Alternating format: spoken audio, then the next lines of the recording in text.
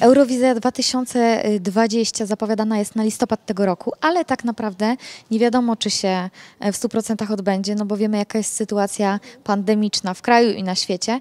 Czy ty masz w ogóle jakiekolwiek informacje na ten temat? Informacji żadnych nie mam.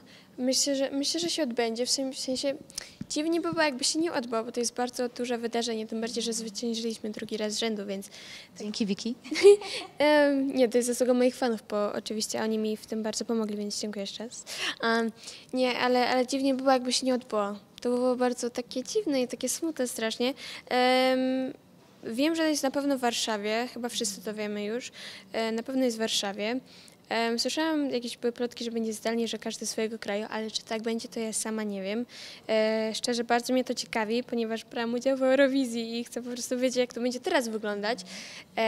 Czy z widownią, czy bez widowni. Myślisz, że, e, że taka zdalna Eurowizja ma sens? No bo to już są zupełnie inne emocje. Gdzieś tam każdy występowałby pewnie w małym studiu w swoim kraju. To jest zupełnie coś innego.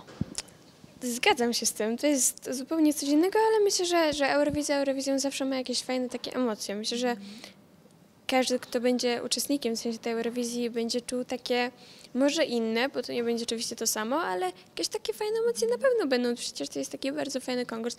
Mm, Najgorsze jest to, że uczestnicy nie będą się mogli, jak będzie, że będzie zdalna Eurowizja, to najgorsze jest to, że uczestnicy będą mogli się ze sobą poznać. I Cieszyć potem jest- wygraną, świętować sukces. najgorsze, bo ja się poznałam z uczestnikami e, z innych krajów i, i to jest taka super przyjaźń. W sensie mamy taką fajną grupkę na Instagramie, piszemy cały czas do siebie. Tak będzie słabo trochę, w sensie mm, może nie będzie zdalna, zobaczymy. Ja trzymam Wiesz, bo drugim pomysłem jest po prostu przełożenie tego na inny termin. I pytanie, który pomysł jest lepszy.